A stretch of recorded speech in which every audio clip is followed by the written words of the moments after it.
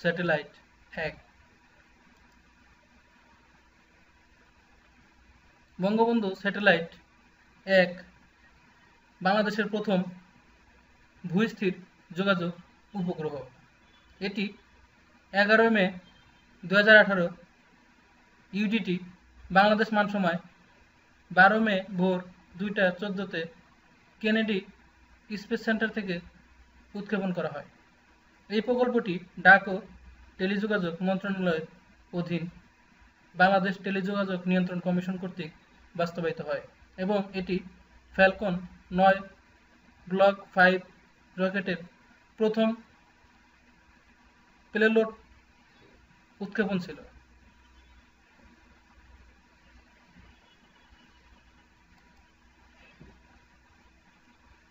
যুক্তরাষ্ট্রের স্থানীয় সময় শুক্রবার বিকাল চারটা চোদ্দ মিনিটে ফ্লোরিডা রাজ্যের অরল্যান্ডো কেনেডি স্পেস সেন্টারের কেফ ক্যানভেরাল থেকে সম্পূর্ণ নতুন একটি ফ্যালকন নয় রকেটের মাধ্যমে এটি উৎক্ষেপণ করে মহাকাশ অনুসন্ধান ও মহাকাশযান নির্মাতা প্রতিষ্ঠান স্পেস এক্স। মাত্র তিন মিনিটের মধ্যেই বঙ্গবন্ধু স্যাটেলাইট উৎক্ষেপণ রকেট ফ্যালকন নয় মহাকাশে পৌঁছে যায় এবং তা নির্ধারিত প্যাডে ফেরত আসে। স্পেস এক্স জানিয়েছে যে উৎক্ষেপণ সম্পূর্ণ নির্ভুল ছিল। তেত্রিশ মিনিট পর বঙ্গবন্ধু স্যাটেলাইট বাংলাদেশের জন্য নির্ধারিত কক্ষপথ একশো উনিশ দশমিক এক দ্রাঘিমাংশে অবস্থান নেবে বলে প্রাথমিকভাবে জানা গেছে।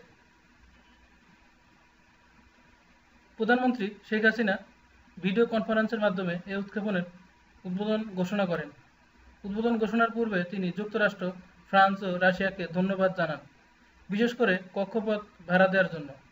রাশিয়ার কথা বিশেষভাবে উল্লেখ করেন প্রধানমন্ত্রী শেখ হাসিনা। বঙ্গবন্ধু স্যাটেলাইট একের সম্ভাবনা। Bangladesh communication satellite company limited BCS CL satellite মহাকাশে কাজ শুরু করার তিন মাসের মধ্যে বাণিজ্যিক কার্যক্রম শুরু করার প্রস্তুতি নিচ্ছে।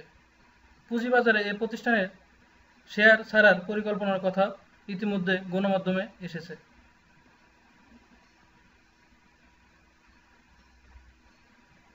বর্তমানে বিদেশি স্যাটেলাইটের ভাড়া বাবদ বাংলাদেশকে গুনতে হয় এক কোটি চল্লিশ লাখ ডলার।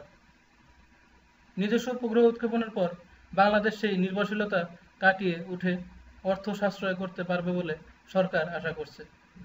বঙ্গবন্ধু স্যাটেলাইটে রয়েছে মোট চল্লিশটি ট্রান্সপন্ডার এর বিশটি বাংলাদেশের ব্যবহারের জন্য রাখা হবে এবং বাকি বিশটি ট্রান্সপন্ডার ভাড়া দেওয়া হবে। এক্ষেত্রে নেপাল, মিয়ানমার ও ভুটানের কাছে স্যাটেলাইট সেবা দিয়ে প্রায় পাঁচ কোটি টাকা আয়ের সম্ভাবনা দেখছেন বিশেষজ্ঞরা।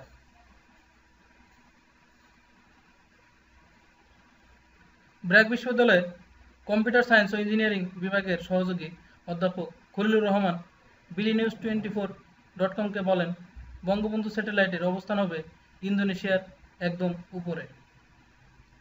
ইন্দোনেশিয়ার পেছন দিকে পুরোটাই সমুদ্র। ইন্দোনেশিয়া থেকে সামনের দিকে যত দেশ আছে, যেমন মালয়েশিয়া, মিয়ানমার, সিঙ্গাপুর, সবই কিন্তু আমাদের কাভারেজে আছে। তিনি বলেন, এখন কিন্তু বিশ্বটা হয়ে গেছে ওপেন মার্কেট যাকে কম খরচে সেবা দেওয়া হবে, সেই কিনতে রাজি হবে। স্যাটেলাইটের কমার্শিয়াল দিকটা নিয়ে যারা কাজ করছেন, তারা হয়তো সেভাবেই চিন্তা করবেন।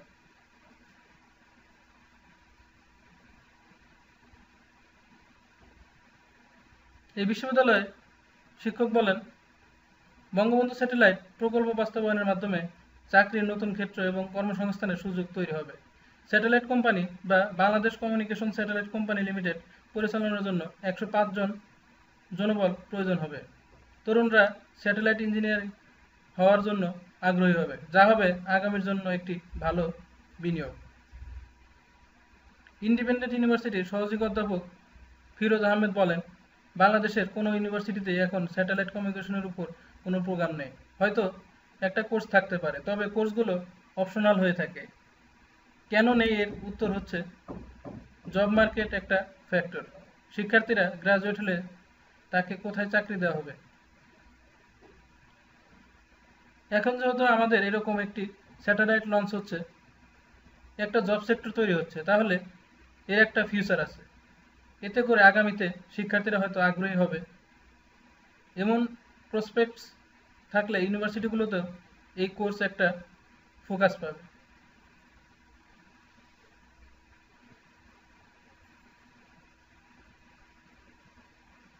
স্যাটেলাইট সেবা খাতে বাংলাদেশ। বঙ্গবন্ধু স্যাটেলাইটের কেইউ ব্যান্ড ট্রান্সপন্ডারের স্পট বিমের আওতায় থাকবে বাংলাদেশ ও বঙ্গোপসাগরের জলসীমা। অন্যদিকে এই ব্র্যান্ড ট্রান্সপন্ডারের রিজনাল বিমের আওতায় রয়েছে ভারত, নেপাল, ভুটান, শ্রীলঙ্কা, ফিলিপাইন ও ইন্দোনেশিয়া। রিজনাল সি ব্যান্ড বিমের আওতায় থাকা দেশগুলো হচ্ছে Indonesia, Philippines, Bangladesh, Bharat, Myanmar, Bhutan, Nepal, Sri Lanka Afghanistan, Pakistan, Tajikistan Kyrgyzstan Uzbekistan, Turkmenistan ও কাজাখস্তানের কিছু অংশ।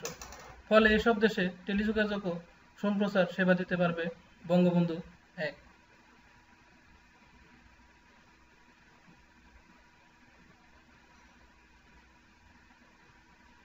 সরকারি এই প্রকল্প নিয়ে অন্যতম প্রত্যাশা হচ্ছে নিজস্ব স্যাটেলাইট বাংলাদেশে ডিজিটাল বৈষম্য দূর করতে ভূমিকা রাখবে।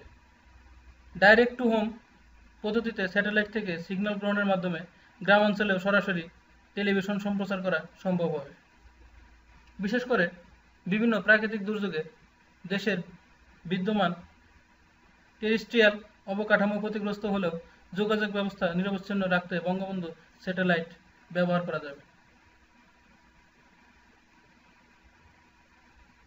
এ প্রসঙ্গে ইন্ডিপেন্ডেন্ট ইউনিভার্সিটির সহযোগী অধ্যাপক ফিরোজ আহমেদ বলেন, সাবমেরিন কেবল সিমিইউ ফোর এবং সিমিইউ ফাইভ যদি কোনো কারণে কাজ না করে, তখন বিকল্প যোগাযোগে এই স্যাটেলাইট কাজে আসবে।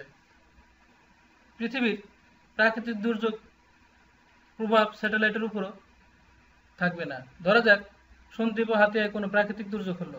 তাতে যদি ঢাকার সাথে ল্যান্ড কমিউনিকেশন বন্ধ হয়ে যায়, তখনও স্যাটেলাইটের মাধ্যমে যোগাযোগ করা যাবে ঢাকার সাথে।